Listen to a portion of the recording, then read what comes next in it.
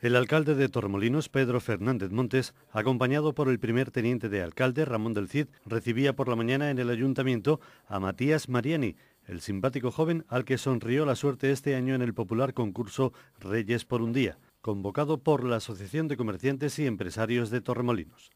Acompañado por el presidente de la asociación, Carlos Rodríguez, el secretario general, Juan Vallejo, y otros directivos de la asociación, Matías Mariani, que trabaja como camarero en el bar Garfield del municipio, agradeció al alcalde la atención de recibirlo y comentó con la primera autoridad municipal detalles previos al cumplimiento de la jornada maratoniana que tenía por delante, en la que, después del desayuno previsto por la organización, iniciaría el periplo de compras, entre las que adelantó que destacarían artículos destinados a su hija Martina, nacida hace solo dos semanas, presente en el acto junto a su madre Laura.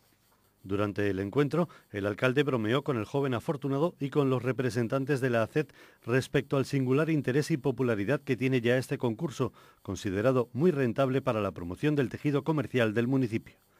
El primer edil significó que, en esta ocasión, el proverbio de que los bebés llegan con un pan bajo el brazo se ha cumplido fielmente, ya que el afortunado, ataviado conforme a su condición de rey, tuvo conocimiento de que la suerte le había sonreído justo dos semanas después de la llegada al mundo de su primogénita.